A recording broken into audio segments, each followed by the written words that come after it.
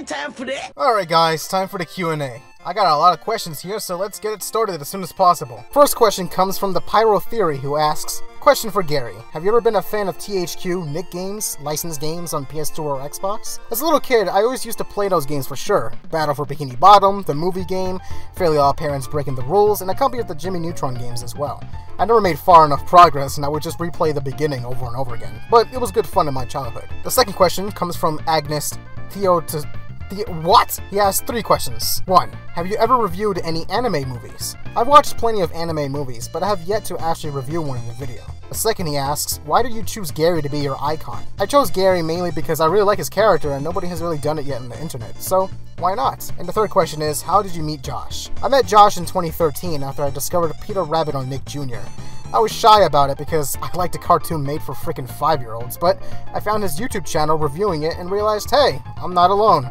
We bonded and became friends since then. The next question is by Omnom and Nugget, who asks two questions. The first is, what Cartoon Network shows are your favorites? I like Unikitty and The Amazing World of Gumball. My favorites are definitely Steven Universe and Adventure Time.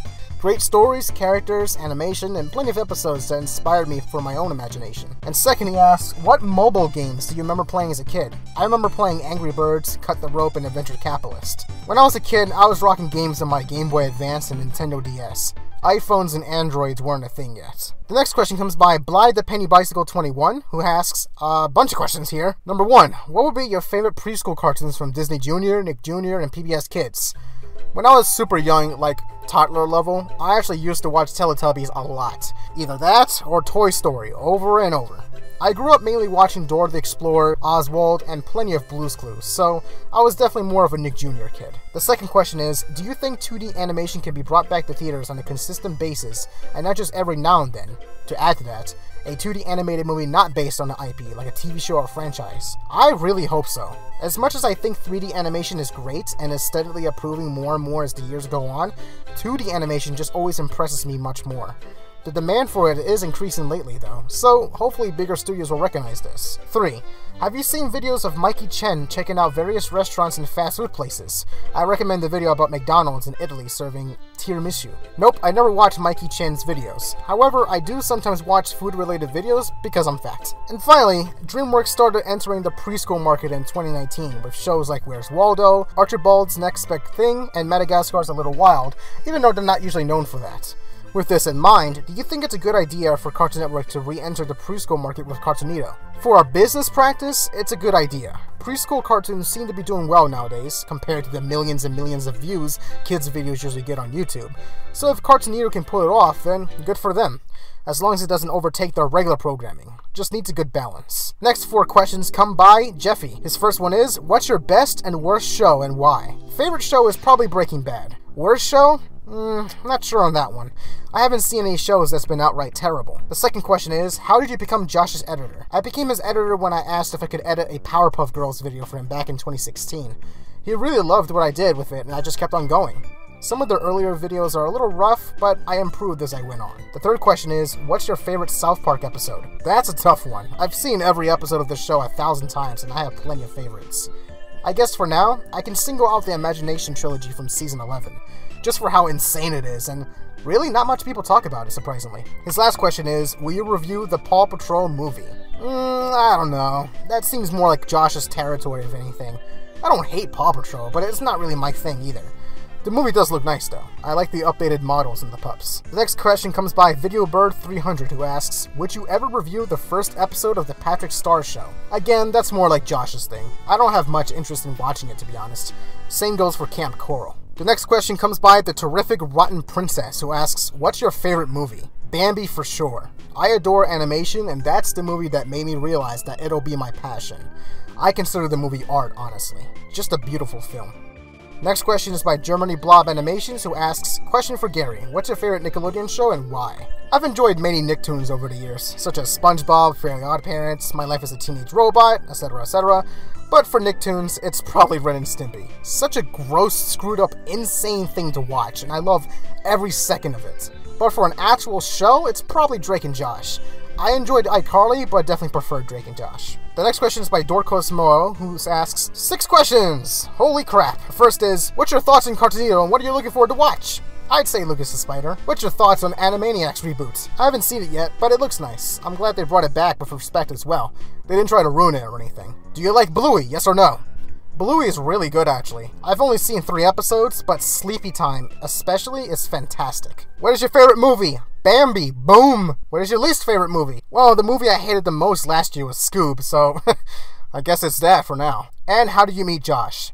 Peter Rabbit Show and Nick Jr. Boom. Next question comes by a commercial break. Did you watch the Bunnicula TV show, or do you think there will be a baby Bunnicula TV show? I remember watching a bit of it when it first aired, but I don't remember too much of it, honestly. Next is 80s Snork Lover, who asks, Are you a big fan of Adult Swim? If so, then what is your favorite classic Cartoon Network show you would love to see getting a good revival in Adult Swim? Yep, I've watched plenty of Adult Swim. My favorites are Aqua Teen Hunger Force, Squidbillies, and Home Movies. Home Movies would be my favorite classic show, though, and it would be nice to see a revival of it, to see how the characters have aged and such. Next is five questions from the Bio Moneycash. The first is, what is your favorite Disney animation movies? I'll say my top three. Bambi, The Lion King, and Zootopia. But there's many 9 out of 10s that's really close, like The Fox and the Hound. What is your opinion on Tom and Jerry movie 2021? It's really bad. What is your favorite DC superhero and superhero movie? I'm more into Marvel, but I did enjoy Man of Steel quite a bit. From Marvel, definitely Infinity War. Next is, what is your opinion on Godzilla vs. Kong? Eh, it's cool I guess. I don't have much interest in seeing it at the moment though.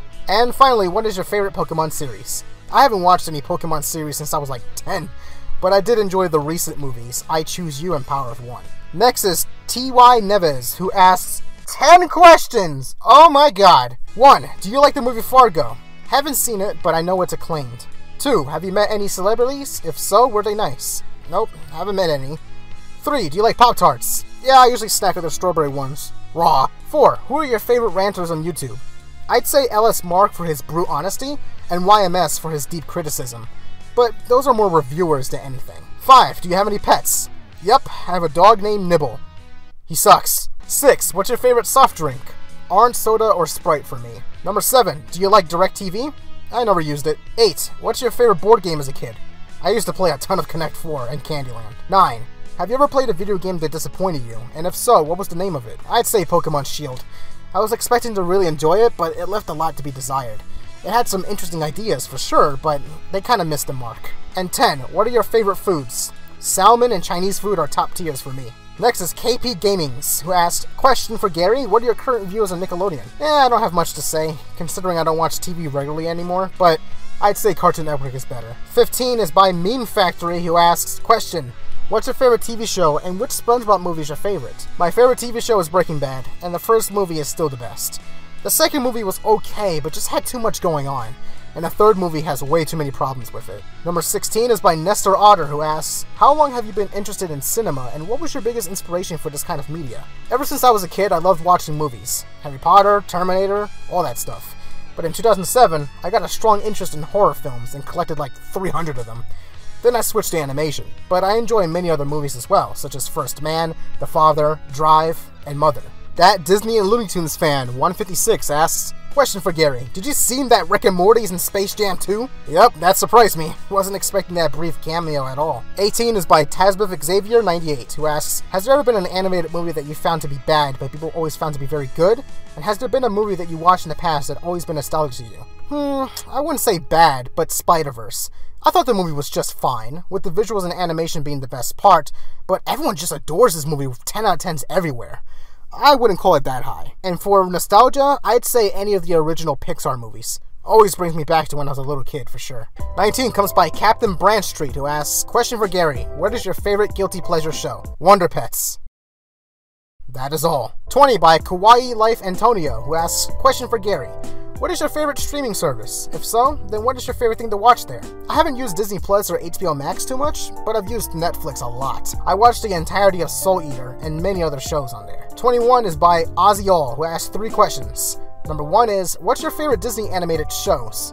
Haven't seen too many shows, just Gravity Falls for the most part, which I thought was good, but not amazing. Second question is, have you been into a drive-in movie theater? Nope, never have. And three, what kind of toys and figurines do you collect? I collect Funko Pops. I've been doing it for about four years now. However, I have a random collection of other things as well, such as pins, trading cards, little figurines, amiibos, and graphic tees. Also, my Roadrunner shrine. Can't forget that. You do not want to know how much I paid for him. Next question is by Name, who asks, Question for Gary. What's your favorite SpongeBob season? Well, everyone knows seasons 1 to 3 are the better ones, so I'd say one of those. I have favorites sprinkled throughout, but for now, mm, I'd say it's season 3. It was when the show had its style of humor down perfectly, before it eventually went downhill with season 6. Next question is by Cameron Parker, who asks, What is your favorite TV shows? Breaking Bad, Game of Thrones, and Buffy the Vampire Slayer. Next is by Mario? What? What's your opinion on season 4 of SpongeBob? Season 4 isn't bad. It has a lot of good gems in there, but there's a few meh ones as well but still good overall. Next is by Dat Woody Gamer who asks three questions. What is the worst movie you've ever seen? I don't actively go watching terrible movies, but Scoob is definitely up there. What is the worst TV show you've ever seen? Not sure on that one. I'd say Jersey Shore for a safe answer. And three, do you like Total Drama Island? If so, who is your favorite? I never watched Total Drama. I always used to just skip as a kid in favor for Chowder or something else. Next is by Entertainment Brothers who asks, Is it fun working with Josh? Yeah, it is. We share each other's scripts, recordings, work together on what parts to edit in, edit out, and I've enjoyed my time being his editor. Being his best friend helps even more. Next question is by Bernice Wernjo, I think. What are your thoughts on Fena Pirate Princess coming to Crunchyroll and Adult Swim's Toonami block in August 14th, 2021? No idea what that is. Do you make your own animated shorts? I'm getting there. I'm finishing up my short series, The Werebird, which has been in hiatus for God knows how long but I have plenty of ideas. 3. Are you reviewing Hotel Transylvania 4 Transformania? Yeah, why not? I enjoyed the first two movies, though I've never seen the third. And the last question is Do you love snails? I honestly think they're cute. Look at them. Look. Next question is by Thomas Bush. He asked three questions. 1. Do you like SpongeBob? Of course, it's a childhood show. There was a period in 2013 though when I was absolutely tired of it, mainly due to my little brother watching nothing but the ScumBob episodes and just showing me how bad the show has gotten. But recently I've regained my love for it, hence me becoming Gary. 2. Do you remember a show called Blue's Clues? Speaking of childhood shows, Blue's Clues was one of my most watched as a kid. I think I saw every single episode of the Steve era and also quite a few of the Joe era. And 3. How old are you? I'm 23 years old right now, though I swear, I look and feel like a 16 year old. Next question is by the Gatorade guy. Do you hope Good Luck Charlie gets a revival series in the next few years? What is that? Oh, never seen it, so I'm not sure what to say. Next question is by Deco's Memes Uwu, who asks, What is your favorite story-driven cartoon out right now? Well, Steven Universe used to be my top favorite when it comes to that, but it recently ended. I haven't seen much series since then, just movies. Though I did see the entirety of Kipo and the Age of the Wonder Beasts on Netflix, which I thought was pretty good, although I didn't feel the last season had some problems. Next question is by Freddy Studios, who asks, What made you start your channel? This is actually my fifth or sixth YouTube channel. I've made many channels over the years for many reasons.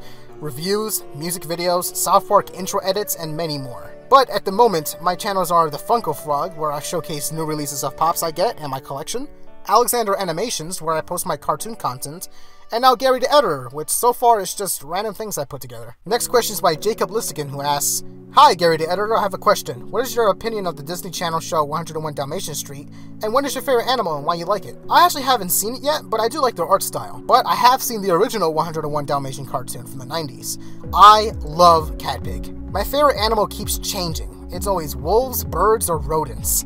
I love them all. Wolves for how elegant they are, birds for how interesting they are, and rodents for the sheer cuteness. Next question is by Epicness of Awesome, who asks, what are your favorite obscure cartoons? Leafie, A Hen into the Wild is one of my favorite animated movies, coming from Korea. It has a lot of heart in its story, even though it may seem a bit over the top and ridiculous. I still love it so much. Another one I really love is Bird Boy and the Forgotten Children, a masterclass of a dark fantasy story that's so well done. And the last question it comes from Mark Rojas, who asks, Do you remember Wow Wow Wubbzy? Yeah, I watched it a bit as a kid. That's it. Alright, so that's the Q&A, guys. I want to thank every one of you for providing the questions, and I hope my answers were satisfactory. This was a great way for you all to get to know me a little more, and I'm very happy about it. If you made it this far, here's a cookie. Like, comment, and subscribe, and I'll see you on the next review, guys. Thanks for watching.